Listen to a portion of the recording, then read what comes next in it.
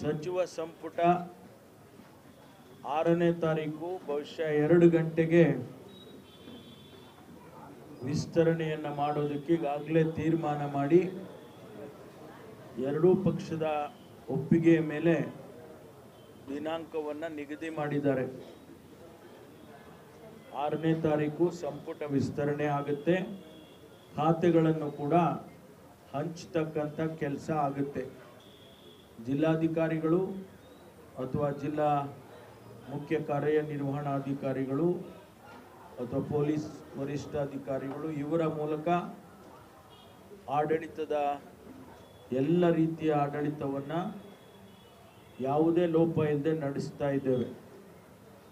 ಮಾನ್ಯ ಮಾನ್ಯ D K Shivakumar ಒಬ್ಬ ಪ್ರಾಮಾಣಿಕವಾದ ಶಿಸ್ತಿನ, ಪಕ್ಷದ ಶಿಸ್ತಿನ ಸಿಪಾಯಿ.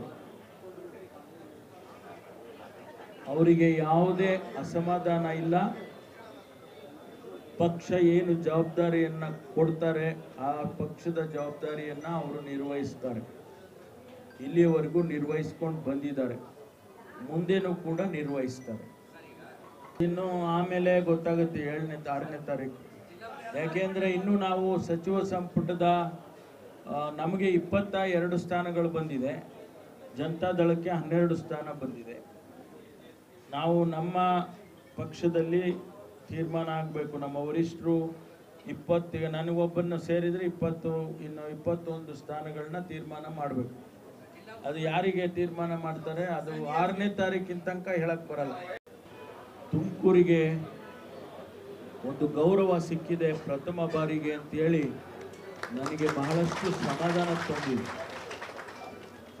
ತುಮಕೂರಿನ ಜನತೆ ಅವರೆಲ್ಲರಿಗೂ ನಾನು ನನ್ನ ಹೃತ್ಪೂರ್ವಕವಾದ ಅಭಿನಂದನೆಯನ್ನು ಇಡೀ ತುಮಕೂರು ಜಿಲ್ಲೆ ಈ ಅವಕಾಶವನ್ನು ಉಪಯೋಗ ಮಾಡಿ ಅತ್ಯಂತ ಪ್ರಾಮಾಣಿಕವಾಗಿ ತುಮಕೂರು ಜಿಲ್ಲೆಯ ಅಭಿವೃದ್ಧಿಗೆ ನಾನು ಶ್ರಮಿಸ್ತೇನೆ ಅನ್ನುವಂಥ ಮಾತನ್ನು ಈ ಸಂದರ್ಭದಲ್ಲಿ ಹೇಳೋದಕ್ಕೆ ಬಯಸ್ತೇನೆ.